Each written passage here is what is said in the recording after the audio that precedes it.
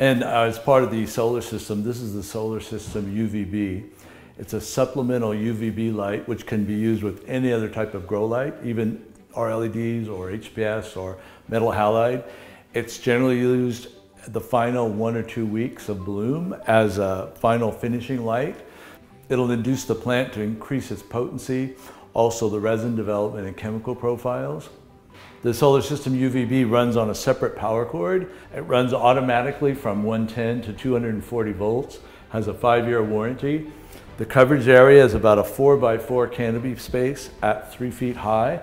It comes with a piggyback cord so you could chain uh, as many as 10 lights together on a single power source. You'll need to run this on a separate timer, but you never want to work under this light while it's on. It's a very powerful UVB. It only draws 24 watts, but it's quite a big output, which is deceiving. So we never recommend looking into the light or working under the light, only for plants and only when no one's in the room, but you'll get quite a good reaction in the final weeks of flowering.